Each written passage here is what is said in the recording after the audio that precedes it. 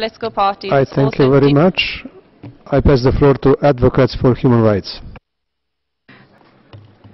Mr. President, the Advocates for Human Rights welcomes the report of the High Commissioner and thanks the Human Rights Council for its ongoing attention to the human rights situation in Cambodia.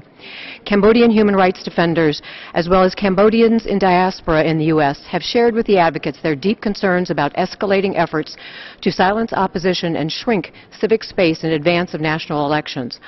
Our concerns include, first, the narrowing of democratic space, with arrests of opposition leaders, the dissolution of the main opposition party, and the banning of 118 senior party members, including parliamentarians, from political life.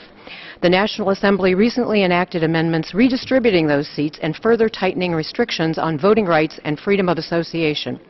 Second, the increasing intimidation, harassment, arrest, and detention of human rights defenders.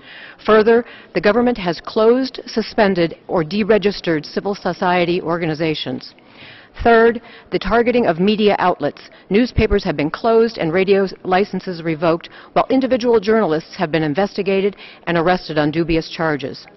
The Advocates for Human Rights calls on the Council to ask OHCHR to keep the situation in Cambodia under review and to consider appropriate action in advance of the national elections scheduled for July 2018.